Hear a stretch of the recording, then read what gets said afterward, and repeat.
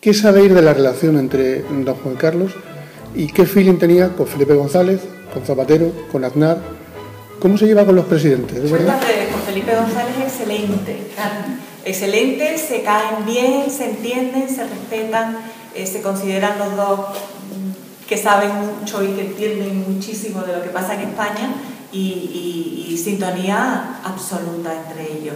Eh, luego, el, con el resto de los presidentes, poco regular, ¿no? Ya ahí cambian las opiniones, con Aznar regular, con Rajoy regular, con Zapatero como que no le consideraba, pero ya ahí están distintas, eh, eh, distintas acepciones. ¿Por qué? Bueno, porque el rey don Juan Carlos es una persona especial y, es muy difícil saber ¿no? lo que tú piensas sobre alguien en base a, lo que tú dices sobre esa persona o lo que esa persona dice que dice sobre ti, o sea que en definitiva eh, no lo tenemos muy claro. Yo, hice un programa especial para la televisión española que se llama Juan Carlos I, el embajador de España, y entrevisté a todos los presidentes menos a Suárez. Todavía vivía Carlos Sotelo, Suárez estaba ya enfermo y no pude hacerlo.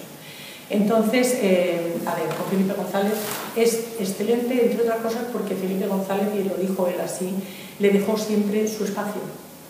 Le dejó siempre su espacio. Él sabía que el rey tenía una, empatía, una capacidad de empatía bárbara, y lo, lo, explicaba con ejemplos, o sea, en, reuniones con Gorbachev y con Bush, cuando Gorbachev estaba había caído en desgracia y tal, y entonces, como en un momento determinado, en una cena en el Palacio de la Zarzuela, el rey logró que Bush y Gorbachev hablaran directamente de lo que iba a pasar en la, Unión Soviética que estaba cayendo gracias a, pues eso, a la empatía del rey Juan Carlos para introducir el tema. Eso dicho por Felipe González.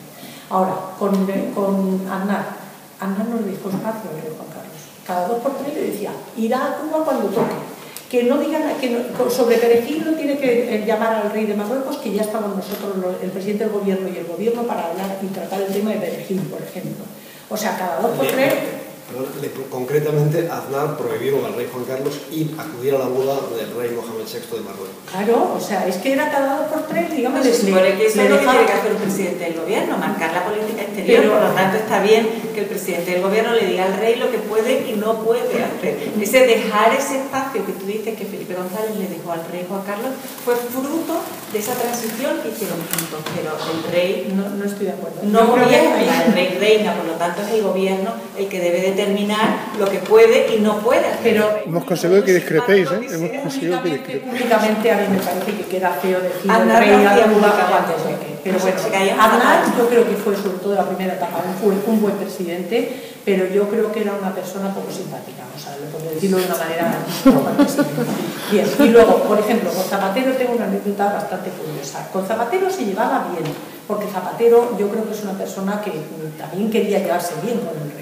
A mí me hizo gracia porque cuando los entrevisté a todos los presidentes y la última pregunta que le hice a todos era cómo fue su relación personal con el rey Juan Carlos Zapatero, dijo, uy, excelente, la relación era excelente, me llamaba todos los días para ver cómo iban las cosas. Y yo me hizo gracia porque la verdad, eso lo tomaba él como un gesto. Yo lo tomé como un gesto de desconfianza. Voy a preguntarle qué es lo que está haciendo para ver qué ocurrencias me O sea, por ahí lo vi yo O sea, que eso sí. Y luego con Carlos Sotelo, la verdad es que fue muy corto la experiencia y yo creo que se entendían bien, pero es que Carlos Sotelo tenía un humor muy británico, muy, muy, muy sentido del humor muy fino y tal. Y yo creo que el rey es más yo creo que el rey más de chistes, es más eso de la campechanía y todo eso. La, cosa del humor británico yo creo que lo ejerce menos. Te queda el, te queda el gallego. ¿Eh? Te queda el, presidente gallego. Le gusta fumar puros juntos. Ahora ya no fuman. El rey ya no fuma porque a raíz de la operación de pulmón ya no lo dejan. Pero yo creo que la relación política, mm, desde luego, no, bueno, pues se, tiene que entender con todos ellos, pero hay la sintonía, ni mucho menos que ha habido con, por ejemplo, que hubo con Adolfo Suárez, sobre todo en la época primera, y con Felipe González, que sigue manteniendo la amistad y, y ahora se quiere mucho, se tiene una aprecio personal muy fuerte.